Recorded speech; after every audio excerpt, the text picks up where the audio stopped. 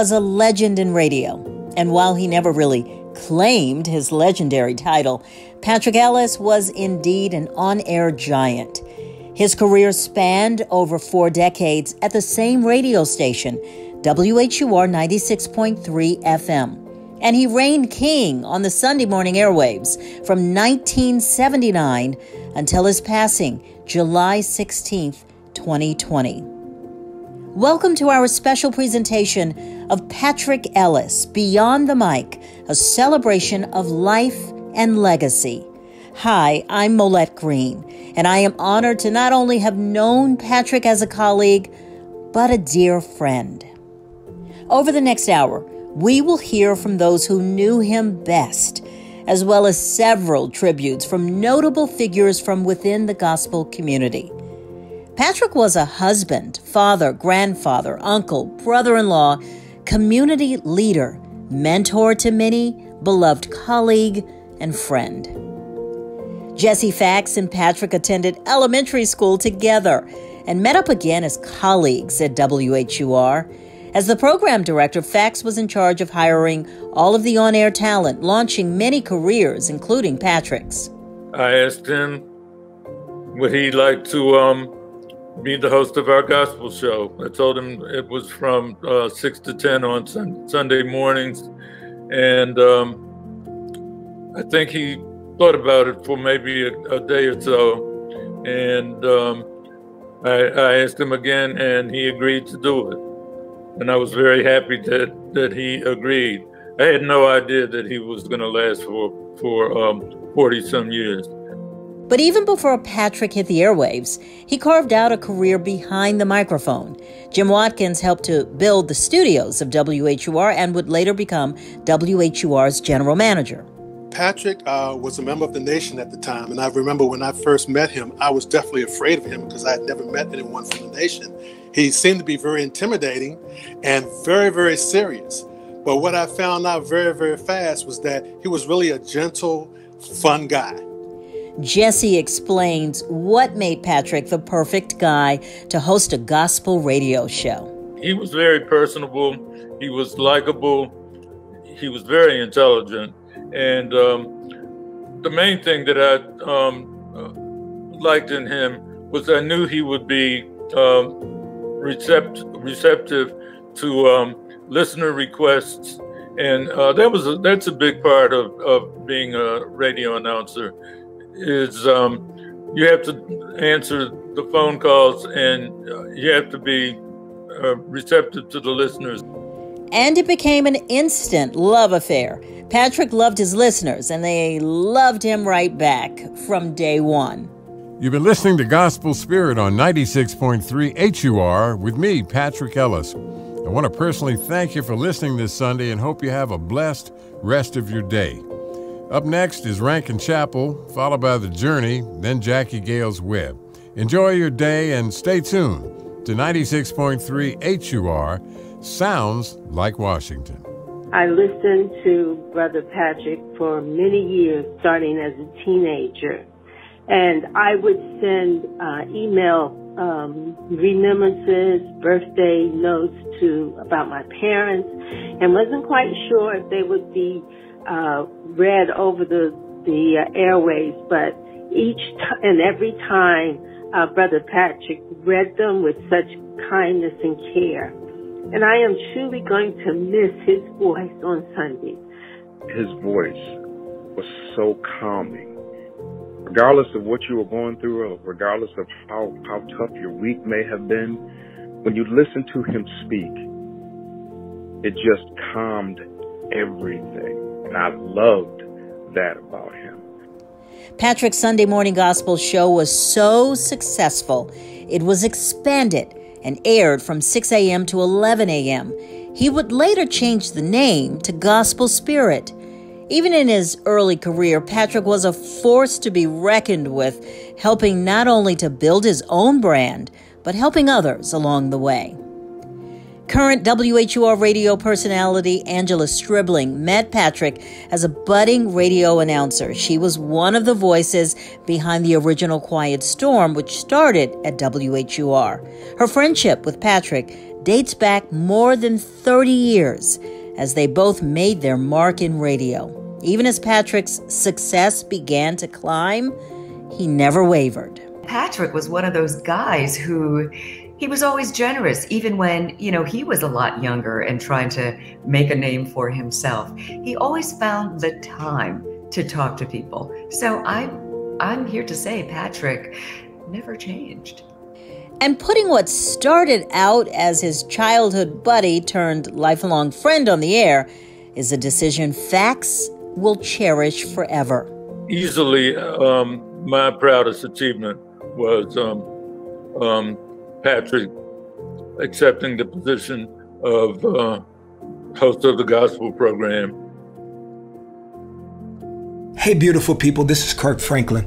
Please forgive my time in the studio. I've been working all day, but I had to stop because it is too important that I can't miss this moment to be able to just um, give my condolences to the family and friends of Patrick Ellis. I mean, just the 40 years of what he's done for the community and what he's done for the genre and what he and what he's done for all of us in gospel music. I just want to say uh, I'm so sorry for the loss, and I am uh, eternally grateful for his contribution in my life and to the lives of so many other artists. We really appreciate uh, his legacy, and we will continue to walk life out with you. Thank you so much, and God bless you.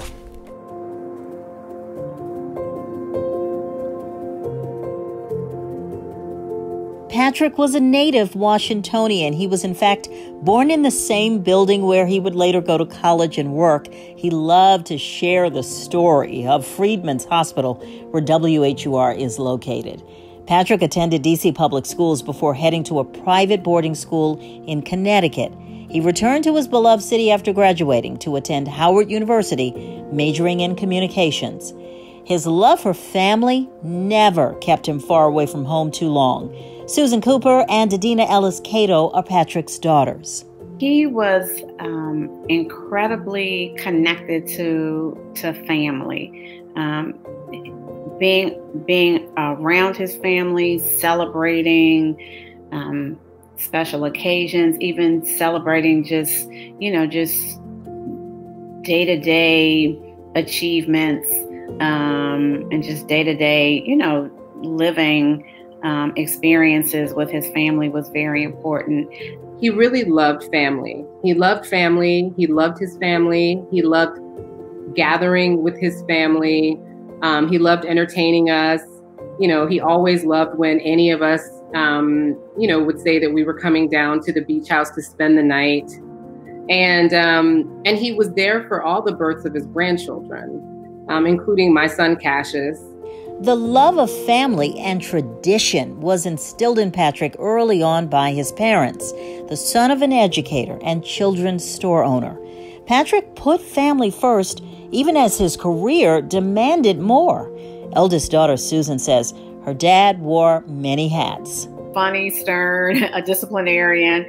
Um, his um, and the the sternness um, in terms of um, discipline um, I never thought about it, but now that you've asked that question, I would I would attribute that to his mother, my grandmother, because she was a school teacher, um, and she was a she was a school teacher in DC public schools, um, you know, and she was from that generation where you know discipline was um, it was it was a must. but even when Patrick had to put you in check, there was a double dose of conversation.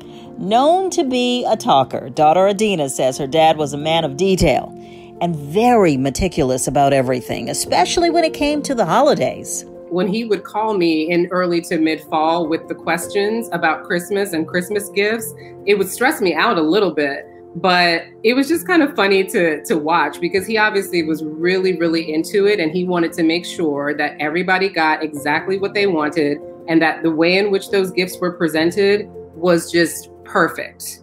Um, I don't know if anyone in the family has outdone him in this particular area because he was very, very meticulous about it and very serious about it. Um, but it was actually fun to watch just how much he would get into this whole act of giving for his family. That sentiment was echoed by his niece and nephew. My Uncle Patrick, there's no, you can't describe him in one word. He was intelligent, he was informative, he was generous, he was loving, caring, sarcastic. I, everyone can tell you that he had his humor was very dry. but it was funny. Like anyone could tell you, you you're going to laugh if you're around him. At every family event, he was always um, available to talk and to to make sure that uh, people were doing well and see if there's anything that he could do to um, help us in our careers or in our pursuits. And that hand of help was a key part of Patrick's DNA. He relished in being there for all. Whether you were an up and coming artist or a student, he didn't mind sharing his gifts and talents with others. Patrick Ellis was my friend, one of the most kind, caring, supportive human beings I have ever known. He was a bright light in my life and a bright light to people all across this world. God gifted him with a beautiful, sonorous, unique voice, a voice we have been listening to for over 40 years. I loved him, and I'm going to miss him. Maranatha, my brother, Jesus is coming soon. See you in the morning.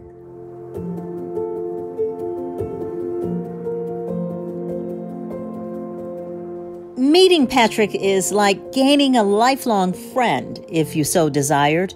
Early in his career, Patrick led WHUR's internship program. His list of students and mentees turned forever friends was vast.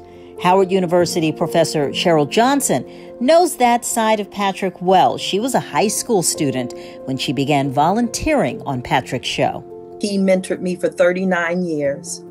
Through my career at Howard as a student, followed me to New York when I worked at the networks and the ad agency, back to the Washington, D.C. area and Washington Media, Radio, Television, Washington Post, where I met um, my sister, Angela Green Ellis, who I later introduced them, and they married for 20 years, the love of his life. And um, he just reached back and gave to all of us. The Reverend Emmett Young is also among the Patrick mentees. He's now the pastor of Loyal Baptist Church, and he has his own radio show in Virginia. I've known Patrick ever since I was 17 years old. Uh, we started Preacher Boy. Uh, I was about uh, 22, 23, and so we'd already had that, you know, five or so years working together.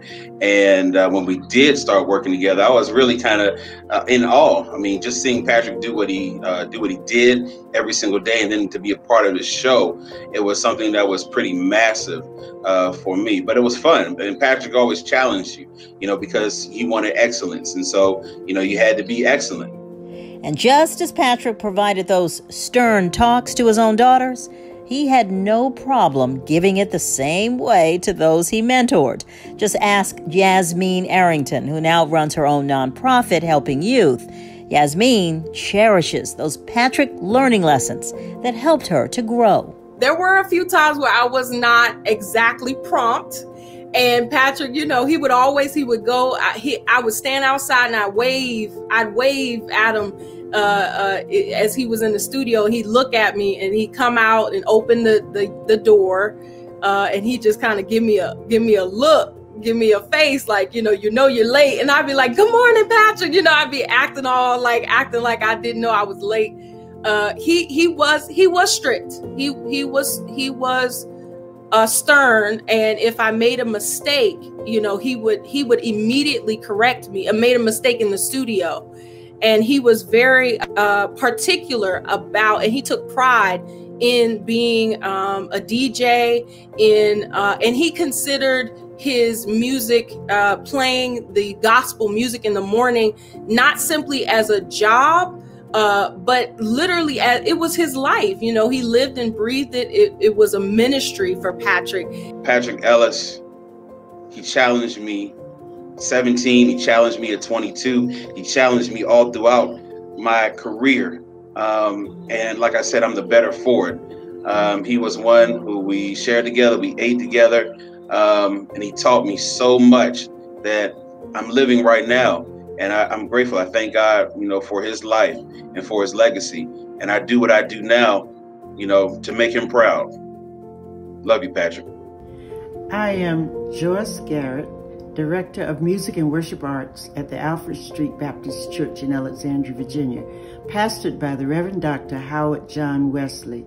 Our whole congregation is very honored to present Total Praise, written by Washington's legendary gospel composer Richard Smallwood, in tribute to Patrick Ellis, a rock in the gospel community.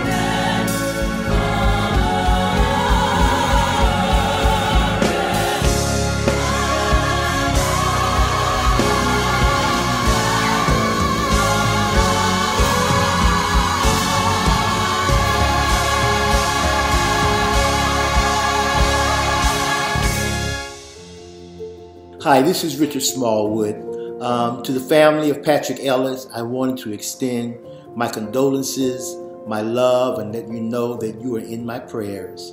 Um, Patrick was a legend in the DMV. Uh, he helped make WHUR what it is today. Um, so many people listened to him uh, during those early morning hours while they were getting ready uh, for church or on the car radio on the way to church. I know I did. And I thank him for the way he supported the DMV artist. Um, he always supported me, and, and I so appreciate that.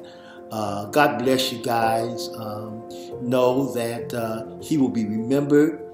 He will be remembered well and fondly as being a trailblazer, someone who made a difference in the DMV. God bless you.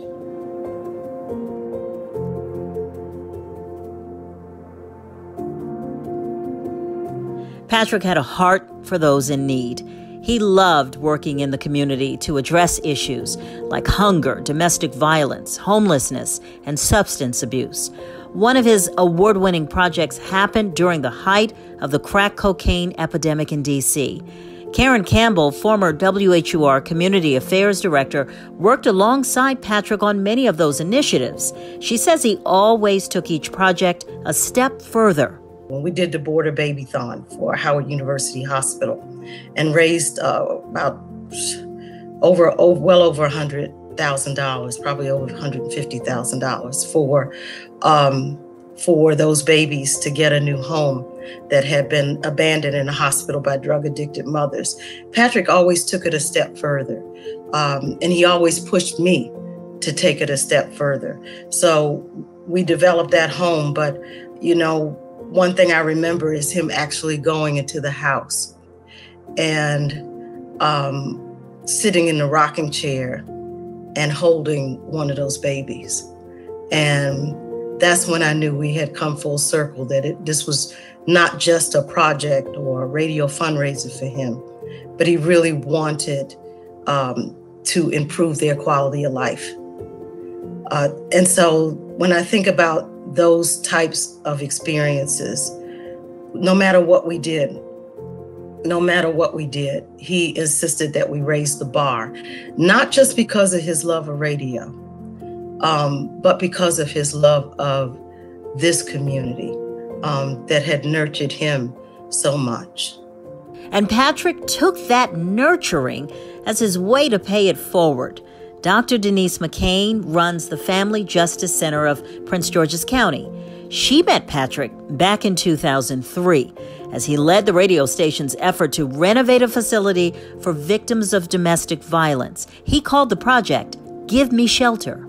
There's only one shelter in Prince George's County, and that had a capacity of 23 beds. So you can imagine um, when we're talking about thousands of women who are calling, uh, who are fleeing abusive homes with nowhere to go, we needed more bed space. So just by virtue of hosting and, and sponsoring this radiothon, uh, we raised almost $800,000. So as a result of that, Today, the Prince George's County Family Crisis Center has a shelter with 48 beds. So it went from 23 to 48, more than doubled almost. So that was really something that made an impact in the community. Uh, we are now able to house more women and children as a result of the efforts of the Family Crisis Center. And I should say, moreover, Give Me Shelter and, and Patrick Ellis.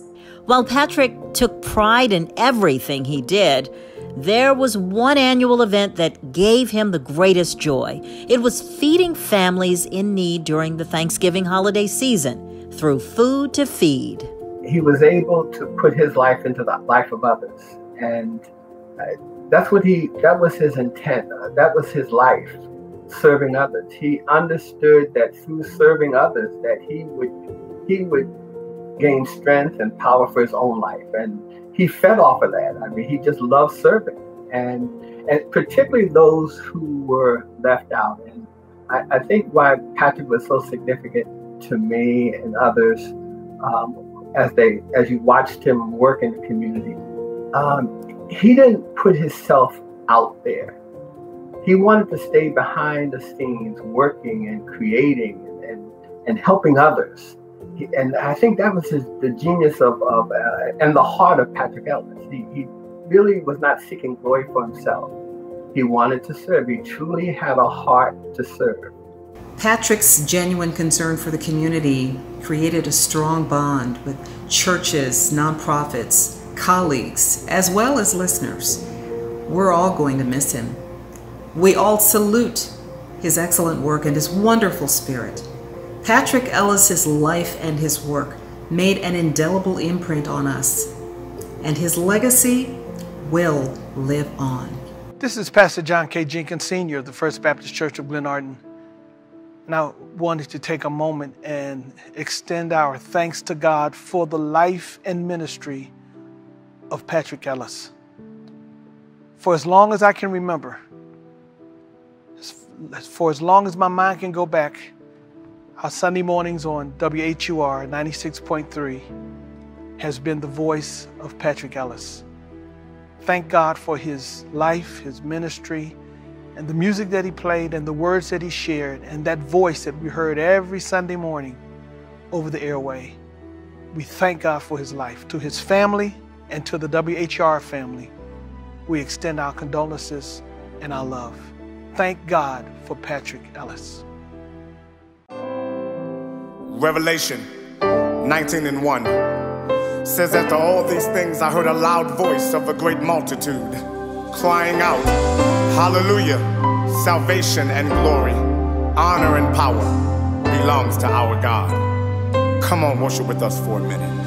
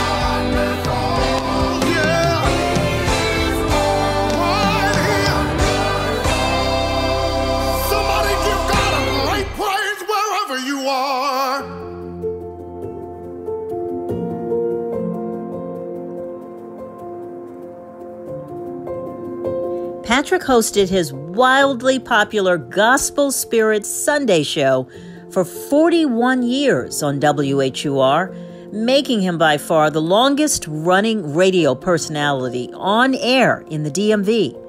WHUR's current general manager, Sean Plater, explains how significant Patrick was to the WHUR family. What Patrick did in DC is just remarkable. To to have a show to run for 40 years, and I mean not just airing, but this show was number one, and, and it's still number one to this day. Um, that that is just remarkable and unheard of in any radio uh, market or um, for any radio show to go that long and be that consistent. Um, but it's because of who Patrick was. That the genuineness of Patrick flowed through his heart and it flowed through the airways of WHUR every Sunday.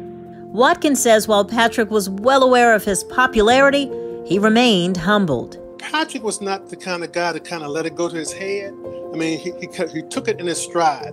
And many times when I was with, Patrick and people would, would, oogle all over him, he was just very cool. You know, thank you very much, and he just kind of keep on going. And I always admired him for that because with the ratings that he had and the kind of revenue he was bringing to the station, and with all the fame, he could have been completely different, but he wasn't. I did have to get used to like throughout my life, like I had to get used to other people's excitement about him and who he was because obviously to me like he was just my dad.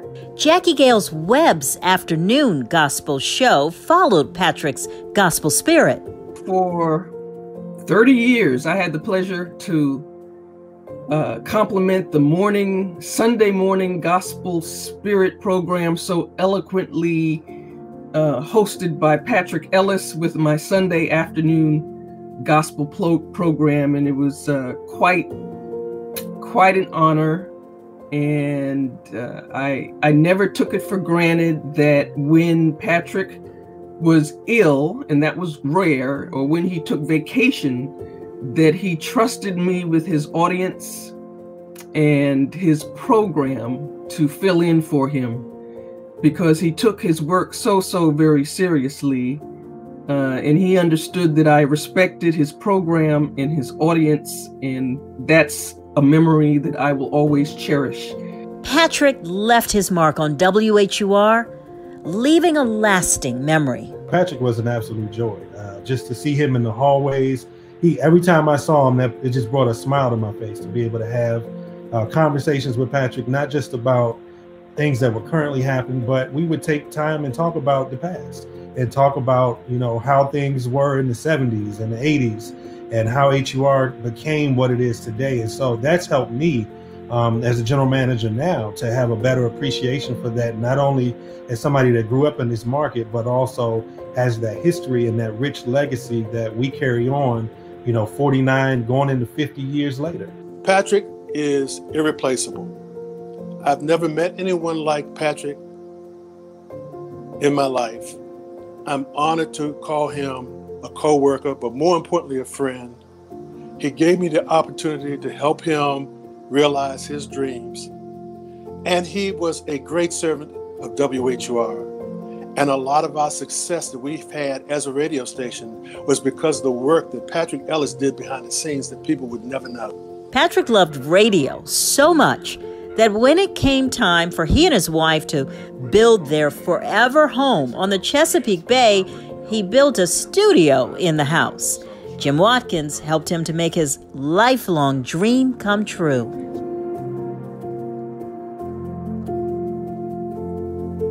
When I got the message he had passed, I was saddened for a moment because I had momentary sadness because I knew that my friend had gone, and second that he had been waiting for this home. But ha ha, you're right, Renee Nash, that he was able to see that dream come to reality. He was able to not only build it, to live in it, but also to manifest pro- projecting and providing his message from his home studio for three Sundays in a row. What a blessing that he got to see his dream come true.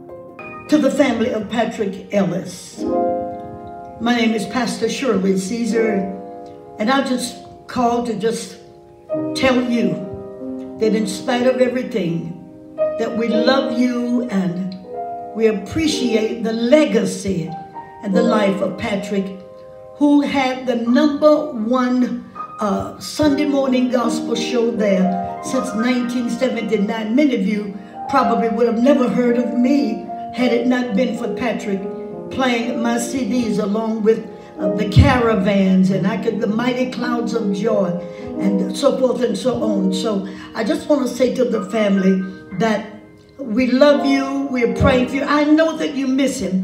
Been there, been there. Glory to God. I know what it is to see my loved ones one by one die and leave me. I'm the last of 13 children. And so I want you to just look and live, knowing that things are going to get better.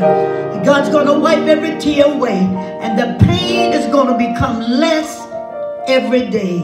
God bless you in Jesus' name.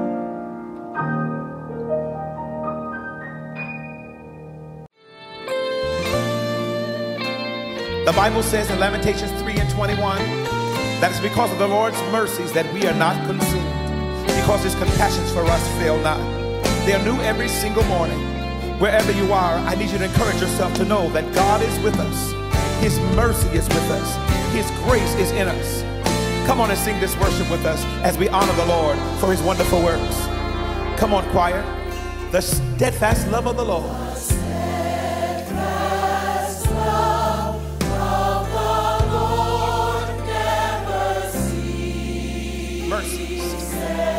Come to an end. You got it.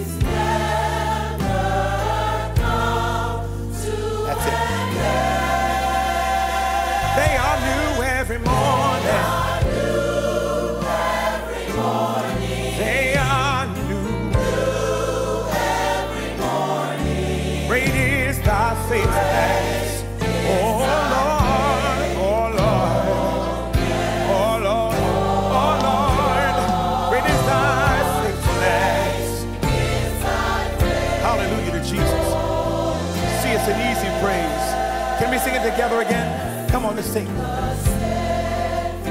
Everybody. You got it.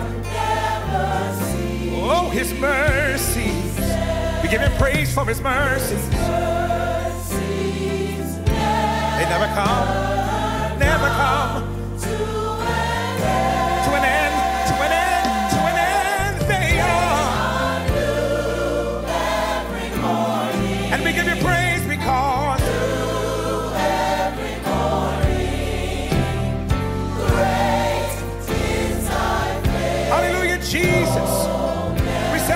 your name.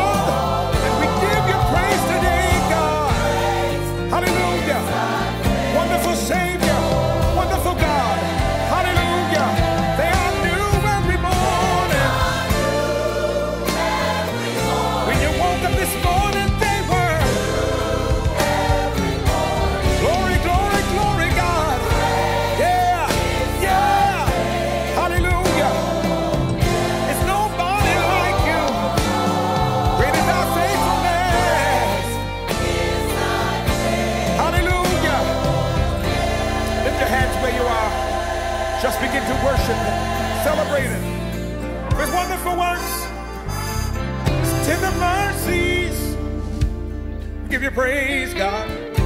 We give you praise, God. We give you praise, God. Oh, Lord. Hallelujah.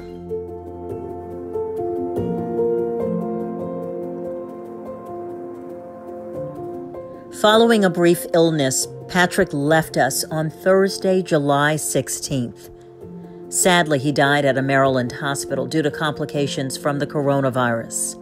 We and, I mean, the, the hospital and Patrick put up a great fight, but uh, um, the overwhelming uh, pneumonia, the overwhelming lung failure uh, just took him from us. And I, I want to again use this opportunity to emphasize to people the importance of uh, preventing this disease from being given to older people. Um, and to, un- to understand that even younger people can get very ill from it as well. As much as we will forever miss our Patrick, his life and legacy live on. He left us with many fond memories and lessons, but his passing also provides us with some valuable messages. I think that the lesson that we have to learn now is that it is a testimony to our sense of our shared humanity. Do we believe any longer that we are just living lives independent of anyone else? We can do whatever I want to do, and I could care less about the consequences that my behavior has for someone else? Or do we live in a society where moral human beings understand that we are intimately connected one to another and that what I do can affect what happens to you and your ability to survive? And the actions we can all take in Patrick's memory are simple serve others and help to stop the spread of the coronavirus. We know that masks work. We know that social distancing works. And we know that frequent hand washing works. Anybody that would try to convince you otherwise is deliberately trying to engineer your demise and those with whom you are associated. Do not fall for white supremacist racist tactics. On Saturday, July 25th, a private funeral service was held for Patrick Ellis, which included a public procession down Georgia Avenue Northwest, D.C., where he made a final stop at the WHUR studios before heading to his final resting place. Hundreds of listeners and colleagues lined the street to say goodbye and honor a life well lived. When it is safe to do so, Patrick's family plans to hold a public memorial celebration of his life. Patrick Connery Ellis was 77 years old. Patrick Ellis, gone but never forgotten. Good morning, D.C., Maryland, and Virginia. Patrick Ellis here. We got the best in gospel music coming to you this blessed Sunday morning. Listen to me until 11 and then check out HUR.com for the latest on the coronavirus.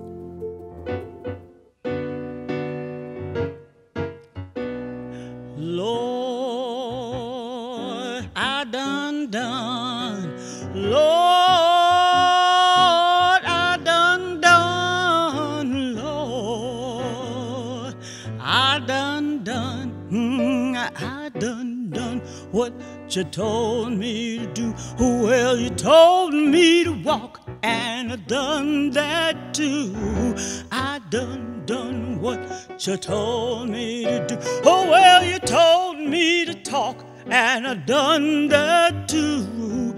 I done done what you told me to do. I said, Oh, I done done. Oh,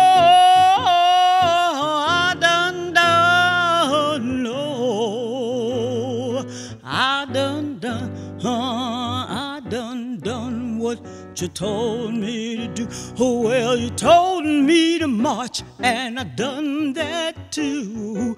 I done done what you told me to do. Oh, well, you told me to fight, and I done that too. I done done what you told me to do. I said, Oh, I done done. Oh. Oh, I done done. Mm, I done done what you told me. Well, you told me to pray, and I done that too. I done done what you told me. Oh, well, you told me to pray, and I done that too. I done done what you told me to do. I said,